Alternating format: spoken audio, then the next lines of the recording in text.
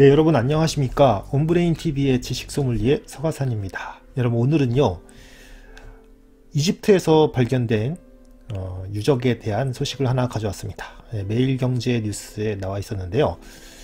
아, 자, 이집트 서부에서 5세기 기독교 유적이 발굴됐다라는 소식인데요. 보시면 와 여러분 이 담뼈, 담장으로 이렇게 둘러쳐져 있는 이런 공간들이 여러 개가 있는데 약 14개 정도의 12개 정도의 방이 있는 것 같고 그죠? 네, 이렇게 돼 있는 모습입니다. 생생하게 어, 알 수 있는 유적인데 그런데 여러분 그 이집트 하면은 보통 우리 파라오라든지 이런 고대 이집트만 생각할 것 같은데 이렇게 기독교 유적, 유물이 예, 유적이 발견됐다는 게 굉장히 신기하네요. 볼까요 한번?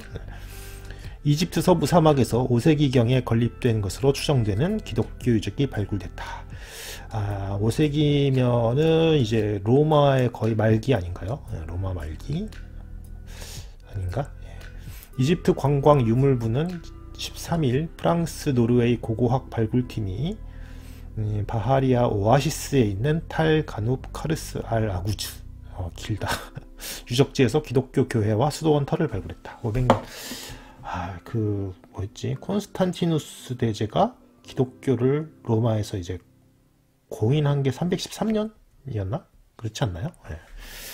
총 6개 구역으로 나뉜 이 유적지에서는 3개의 교회 건물과 수도사들이 기거하던 건물 등이 발견됐다. 발굴팀은 이 기독교 유적의 건립 시기를 대략 4세기에서 7세기경으로 추정했다. 그러니까 초기 기독교 건물이다. 이런 거네요. 기반함을 깎아내고 현무암과 흑벽돌, 등을 쌓아서 만든 건물의 벽은 콥트교 관련 문자와 상징들로 장식됐다. 야 여기 보면 문자가 써있네요 여러분. 예. 야 신기하다. 예. 알파벳하고 비슷하네요. 예. 음.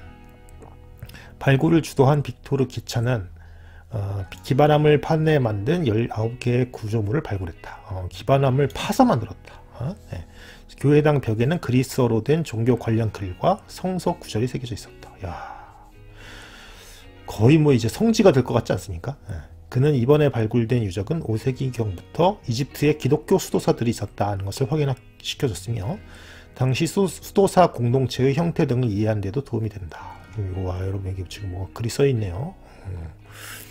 신기합니다. 점토판 타파편이라고 합니다. 어, 굉장히 기도, 초기 기독교의 모습을 볼 수 있는 유적이라고 하는데 여러분 어, 이렇게 이런 데서 공동생활을 하면서 기도도 드리고 같이 뭐 이렇게 했나 보죠. 야, 참 신기합니다. 이런 게 있다는 게 그렇지 않습니까?